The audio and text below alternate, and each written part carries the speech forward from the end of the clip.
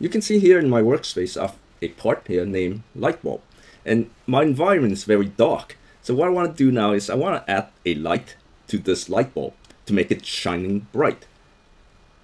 What I'm going to do is I'm going to go to my light bulb. I'm going to click on the plus sign and I'm going to look for point light. I'm adding a point light to my part named light bulb.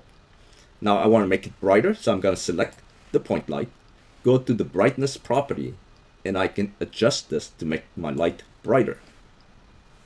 Let's go to our server script service. We're going to add a script. And we're going to look at how to turn on and off our light. So let me start by declaring the light bulb inside the workspace. I'm going to say local light bulb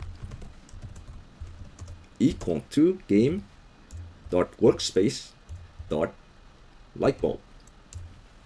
Next, I want to turn off my point light when I start. So I'm going to say light bulb dot point light dot enable equal to false. And that is going to turn off the point light. I'm going to give it 10 seconds. Task wait. 10. And now we're going to turn on the light bulb. We're going to say light bulb dot point light dot enable equal to true. All right, let's play test and take a look.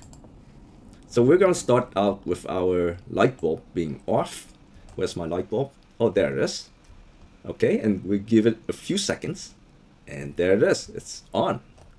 Guys, that's how you add some light to your games.